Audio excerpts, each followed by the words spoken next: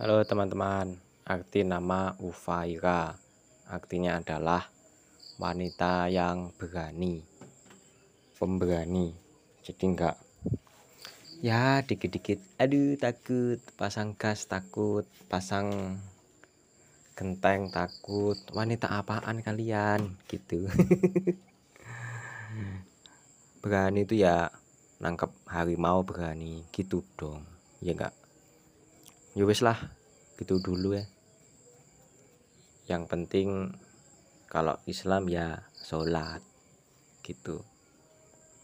Terus wih ada suara jangkrik krik krik krik. Pertanda bentar lagi malam. Yang belum mandi mandi. Oke terima kasih